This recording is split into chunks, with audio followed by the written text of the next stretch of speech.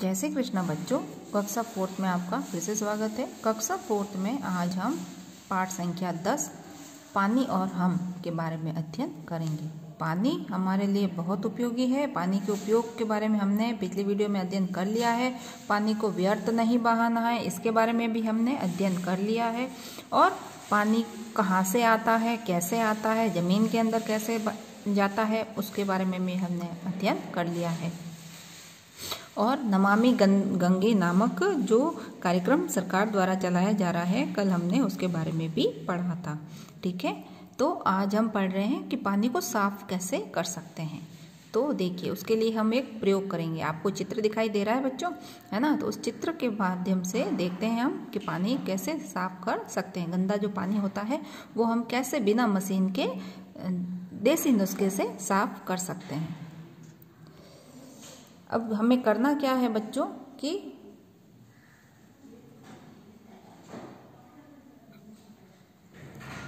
पाँच प्लास्टिक के डिब्बों के तले में छोटे छोटे कई छेद कीजिए।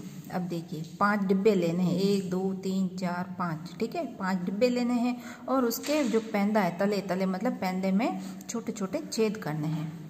उन्हें चित्रानुसार एक के ऊपर एक रखिए अब चित्र, ये देखिए, चित्रानुसार मतलब चित्र में देख के। इस तरह से एक के ऊपर एक है, एक के ऊपर एक, ऐसे करके हमें डिब्बे रखने हैं, पाँचों डिब्बे एक दूसरे के ऊपर रखने हैं। सबसे नीचे बिना छेद वाला खाली डिब्बा रखिए। अब सबसे नीचे कौन सा डिब्बा रखना है? बिना छेद वाला। क्यों? बिना छेद वाला क्यों रखेंगे? अगर छेद वाला रखेंगे तो पानी सारा नीचे बह जाएगा, है ना?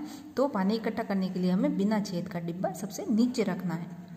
नीचे से ऊपर डिब्बे में क्रमशः रेत, बजरी, छोटे पत्थर, कोयले के टुकड़े भरिए। अब सबसे ऊपर क्या भरना है? रेत भरना है। उसके बाद में बजरी भरनी है, फिर छोटे पत्थर, फिर कोयले और टुकड़े भरने हैं, ठीक है? इस तरह से हमें एक दूसरे के ऊपर रखने हैं। सबसे ऊपर डिब्बे में गंदा पानी डालिए। अब सबसे ऊपर के डिब्बे में क्या करना है? गंदा पानी डालना है। देखिए, कोयले हैं, पत्थर के टुकड़े हैं, बजरी है, रेत है, ये सब हमने डाल दिए हैं, ठीक है? और सबसे ऊपर गंदे पानी को डालना है डिब्बे में। अब सबसे नीचे के डिब्बे में आए पानी को देखिए। अब देखिए बच्चों, चित्र में दिखाई दे रहा है आपको, सबसे ऊपर गंदा मटमैला पानी दिखाई दे रहा है और नीचे एकदम साफ़ पानी दिखाई दे रहा है सबसे नीचे के डिब्बे में। तो क्या हुआ? ये पानी कोयले से, बजरी से, रेत से, छोटे पत्थर से, कंकड़ से छनते छनते साफ़ होते होते कैसा आया पानी? सारी गंदगी कहाँ रुक गई? बीच में, कोयलों में, मिट्टी में। इनमें सारी गंदगी रुक गई और साफ़ पानी सबसे नीचे के डिब्बे में पहुँच गया। तो पानी को साफ़ करने का तरीका। तो ये एक तरीका है पानी को इस तरह से साफ़ करने का, ठीक है? हमारे जो घरों में पानी आता है, वो मशीनों द्वारा फ़िल्टर होके आता है। इस पानी में सूक्ष्म जीव हो सकते हैं, है ना? इस पानी में सूक्ष्म जीव हो सकते हैं जो हमें बीमार कर सकते हैं। इसे पीने योग्य बनाने के लिए आवश्यकता अनुसार क्लोरीन की गोलियाँ मिलानी चाहिए। अब जो ये ऊपर मटवाला पानी दिखाई दे रहा है हमें, इस पानी में क्या होता है? इस पानी को सीधा या गर्म पीते हैं, बिना साफ़ किया हुआ पीते हैं तो इससे क्या हो सकता है? अनेक बीमारियाँ होने की संभावना रहती है। तो इसीलिए इस पानी को साफ़ करने के लिए हमें क्लोरीन की गोलियाँ मिलानी चाहिए। अब देखो बच्चों, क्लोरीन की दवाई मिलाने से पानी का रंग हल्का सा गुलाबी हो जाता है। ज़्यादा नहीं डालना है, उचित मात्रा में ही डालना है तो उसमें थोड़ा गुलाबी रंग हो जाता है। पानी का मगर वो धीरे धीरे सही हो जाता है तो इसलिए डरने की आवश्यकता नहीं है। पुराने समय में आज भी कई लोग राहगीरों को पानी पिलाते हैं। पिलाते हैं पुराने समय में। अब देखो बच्चों, आप लोग गर्मी के सीज़न में देखो, अगर आपको कहीं जाना है, आना है बस में, ट्रेन में तो सब लोग क्या करते हैं? पानी की बोतलें, बाल्टियाँ वगैरह लेके खड़े रहते हैं तो उनको क्या लगता है कि हम पानी पिला के अच्छा काम कर रहे हैं, है ना? किसी को पानी पिलाना पुण्य का काम माना जाता है, प्यासे को पानी पिलाना। तो हमारे यहाँ तो संस्कार ही है पानी, प्यासे को पानी पिलाना। तो हम लोग देखते हैं बसों के बाहर बोतलें, पानी की बाल्टियाँ वगैरह, है ना? रखी रहती है, लोग पिलाते हैं पानी, आवाज़ लगा लगा, अरे, पानी पी लो। हमारी भारतीय संस्कृति में प्यासे को पानी पिलाना पुण्य का काम माना गया है है ना? हमारी भारतीय संस्कृति, हमारा देश कौन सा है? भारत है। तो भारतीय संस्कृति में भूखे को खाना खिलाना और प्यासे को पानी पिलाना क्या काम माना जाता है? पुण्य का काम माना जाता है। इसीलिए यात्रियों के लिए विभिन्न स्थानों पर पानी की प्याऊ लगाते हैं। अब किसी को दान पुण्य करना है तो क्या करते हैं? कुछ लोग प्याऊ बनाते हैं ताकि कोई राहगीर चलते रहते पानी पी सके, वो प्यास के मारे इधर उधर ना भटके। तो इसीलिए यात्रियों के लिए विभिन्न स्थानों पर पानी की प्याऊ लगाते हैं। कोई प्याऊ बनाता है पैसे लगा के, कोई मटकिया रखता है, कोई बाल्टियों से पानी पिलाता है, खुद। तो इस तरह से ये सारे काम करते हैं लोग। अब इस पाठ में हमने क्या सीखा है बच्चों?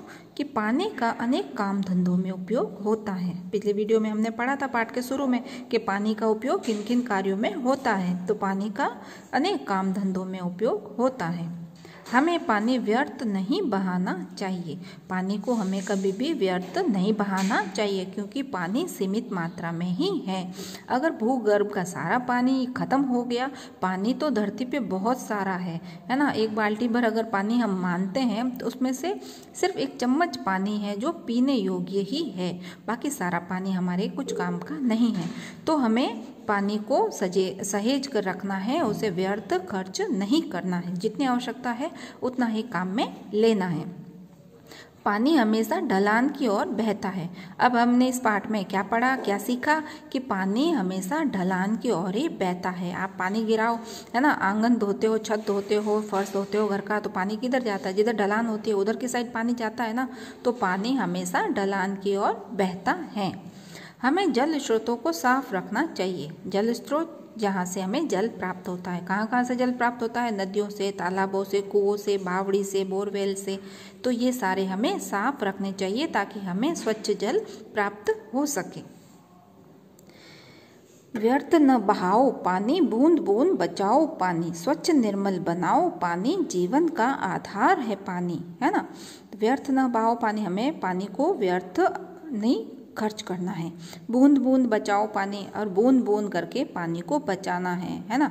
अगर बूंद बूंद करके एक बाल्टी पानी गिरता है तो एक बाल्टी पानी हम पौधों को पिला सकते हैं, हम पोछा लगाने के काम में लग सक, लगा सकते हैं, हम स्नान करने के काम में ले सकते हैं तो बूंद बूंद पानी हमें बचाना है। कहते हैं ना बूंद बूंद से घड़ा बढ़ता है तो इसीलिए पानी को बचाना है। स्वच्छ निर्मल बनाओ पानी। पानी को स्वच्छ रखना चाहिए, उसमें गंदगी नहीं करनी है। पानी को स्वच्छ रखना चाहिए नदियों को, तालाबों को। हम स्वच्छ बनाए रखें तो हमारे लिए ही आसानी होगी। जीवन का आधार है पानी और बिना जीवन, पानी के हम जीवन नहीं व्यतीत कर सकते हैं। पानी हमारे रोज़मर्रा के कार्यों में और जीवित रहने के लिए अति आवश्यक है।